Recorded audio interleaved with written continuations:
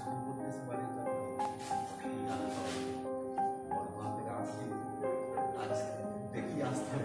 আপনার কে এখানে স্কুলে পড়ে কে? আমার মেয়ে।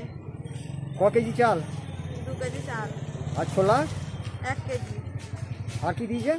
আলু দিয়েছে। আচ্ছা। আর? সাবান। আমার নাম কি? অপর্ণা বাগদি।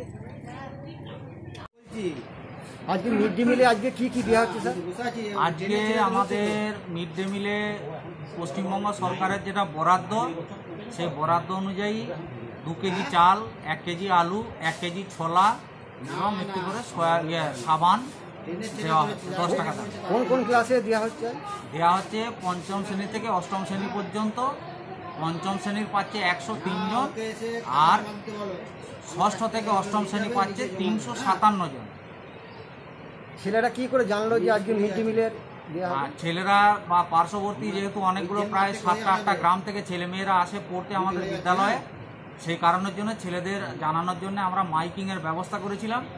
মাইকিং করে প্রচারের মাধ্যমে আমরা ছাত্রছাত্রীদের, অভিভাবকদের অবগত করেছি এবং সেই অবগতি অনুযায়ী তারা আজকে এসেছেন এবং তারা সারিবদ্ধভাবে দাঁড়িয়ে তারা সোশ্যাল ডিস্টেন্সিং বজায় রেখে তাদের যে বরাদ্দ মালপত্র সেগুলো তারা সংগ্রহ করছে।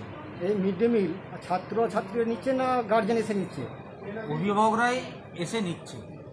ছাত্রছাত্রীদের যেহেতু অভিভাবকদের আসতে কথা আসার কথাই বলা হয়েছে অভিভাবকরাই আসছে অভিভাবকদেরকেই এই মূলত মিড ডে মিলের মাল সামগ্রী তুলে দেওয়া হয় আপনার নাম?